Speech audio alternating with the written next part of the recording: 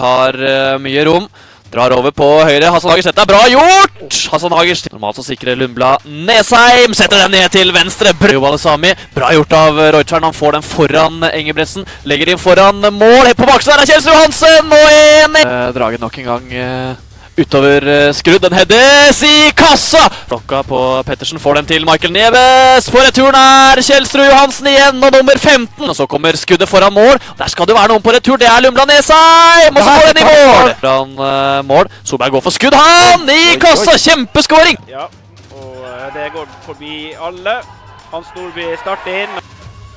Kommer innlegget. Slås det inn der. Og så er det skåring til Seid. Kontringsmulighet for Dale og Brattvåg nå. Ved ei håpløs støttepasning. Gir Brattvåg muligheten. Der ligger han, og det er Torbjørn der. Nok en mulighet, og der sitter han for Tromsdalen. Det er nummer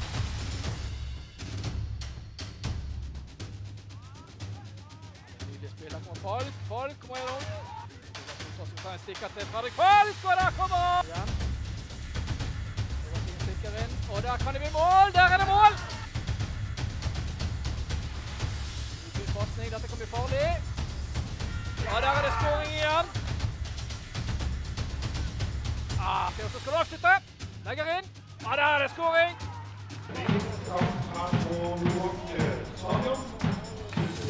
til Knesovic, som peker ned til eh, siden. Og det er der eh, løper vekk.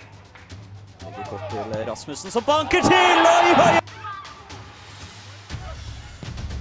Og kliner til der. Eh, og så er Markovic tar med Grande igjen.